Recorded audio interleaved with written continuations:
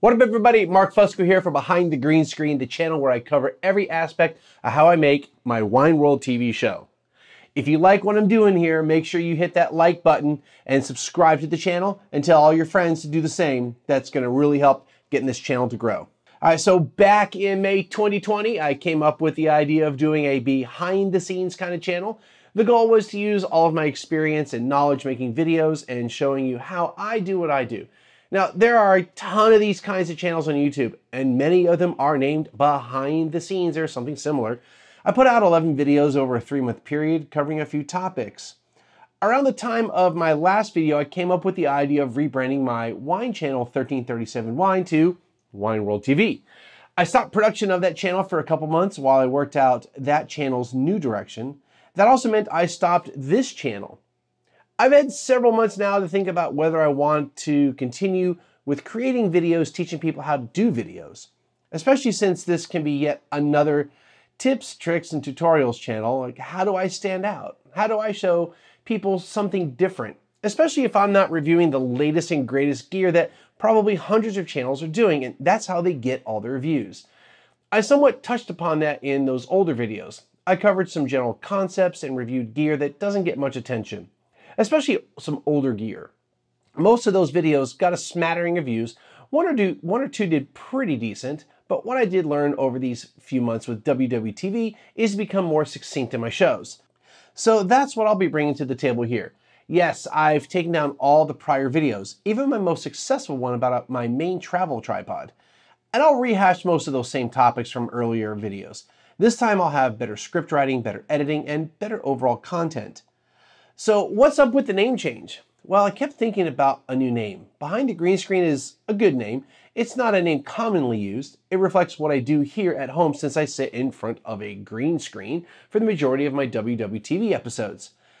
Yeah, it doesn't describe what I do outside my house, and while those are a minority of what I do, they are also important to me. Think of my use of green screen as the equivalent of veil or a curtain like The Wizard of Oz. I thought about using behind the curtain, but green screen is a better analogy. And just like my rebranding of 1337 Wine to WWTV, I came up with a standardized look and feel, a color palette, fonts, logo, on-screen graphics. I have music in my notes, but I'm really probably not gonna have too much music at this point. But you know, something that behind the scenes really never had was a standardized set of these things. Okay, Mark, what exactly is this channel gonna cover? Well, I'm glad you asked.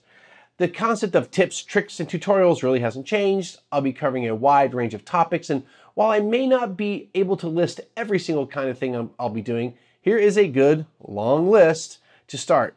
All right, so using smartphones, specifically iPhones, audio equipment, audio editing and software, audio techniques, audio tips, tricks, and challenges, video editing, so focusing on Final Cut Pro, video tips, tricks, and challenges, video equipment other than smartphones, video techniques, traveling tips and tricks such as things to avoid, being smart, what equipment to bring, traveling light, best practices, online resources, navigating airports, digital apps, planning your day, border passport control, lodging, food and drink, travel philosophy, getting the interview, using Skype or Zoom, I prefer Skype, various tips and tricks on using these platforms, interview techniques, interview styles, overall preparedness, product research, scripting versus notes versus just going ad lib, using drones, using Google Earth Pro or Studio. I, I, I know I listed a ton of stuff. I have a ton of potential episodes already listed from months ago, and I'll easily be able to have a ton of content. The idea is not to be yet another gear show, but to focus on what I already have or things I eventually acquire that I actually use. This is truly a hands-on kind of channel. If I get contacted by companies to do a review of their product or service, then I'll happily do it with the same level of professionalism I do on WWTV. Many of the channels I follow also combine their reviews with vlogging. I don't plan on going down that path in this channel. If it makes sense to use something in that way, then I can see doing it. But using this channel as a way to look into, quote, life with Mark is not the goal. That concept is for another time and place that may start this year too. Maybe sooner rather than later. So get ready for some cool stuff. Get ready for a fresh perspective on teaching people how to put out amazing video content regardless of the subject matter.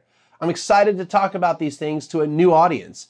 If you happen to be a wine enthusiast or even in the adult beverage industry, then please check out my Wine World TV channel. And that's going to wrap up this episode. Make sure you click that subscribe button and like this video if you're getting value out of this, and I'll see you next time.